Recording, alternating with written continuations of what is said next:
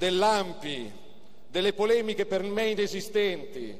A me piacerebbe che il 25 aprile, oltre che la gloriosa giornata di San Marco, fosse una giornata di unità nazionale dove non ci sono morti di serie A e morti di serie B, dove non ci sono le vittime dei nazifascisti che valgono di più rispetto alle vittime morte nelle foibe massacrate a migliaia solo per il torto di essere italiani e di essere anticomunisti.